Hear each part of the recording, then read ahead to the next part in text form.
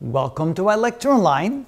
Much of what we know and understand today about the special and general theories of relativity is due to some brilliant insights that Einstein had about these concepts.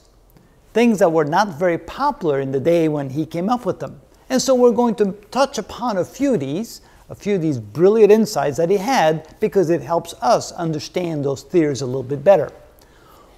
These are not particularly in any particular order, but let's just take them as they come and we'll have maybe a few more videos explaining some of these in a little bit more detail. But first of all, the concept of the speed of light.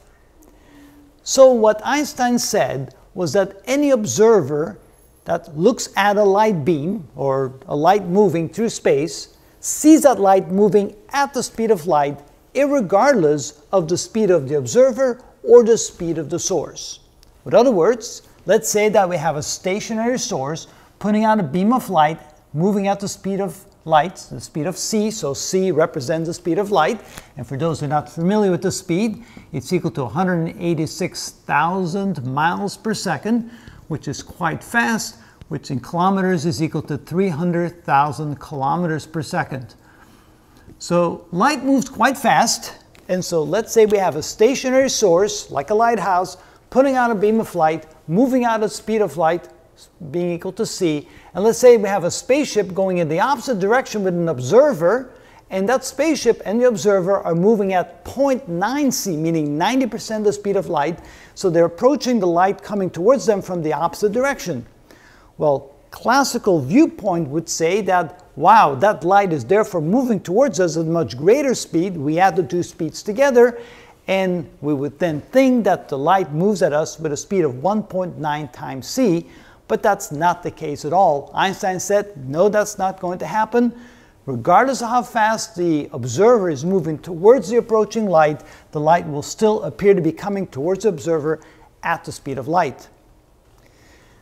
Another situation may be where the observer is on the Earth, not moving, and there's a spaceship approaching the Earth, and a person on top of the spaceship I always like to draw my, my astronauts on top of the spaceship. It's easier. Notice they have a spacesuit on, and it's got a flashlight, and it shines a beam of light towards the Earth, towards observer A on the Earth.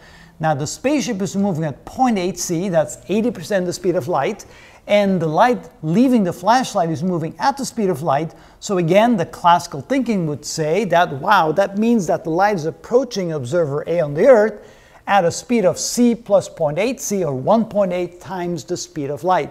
But again, Einstein said that's not going to happen. No, the speed of light as seen by this observer is going to also equal c. Regardless of what the source is doing, regardless of what the observer is doing, the speed of light will always look like the speed of light regardless of what they're doing. Hmm. That was a big step forward in our understanding of the special theory of relativity which then resulted in equations that actually ended up being correct. So later on, Einstein was proven to be correct, but in the meanwhile, he had a lot of opposition to this concept because almost nobody accepted this initial concept of how we observe light always traveling at the speed of light. So a big step forward, forward in our understanding, and this was one of the first brilliant insights he had on that particular concept that helped us understand it.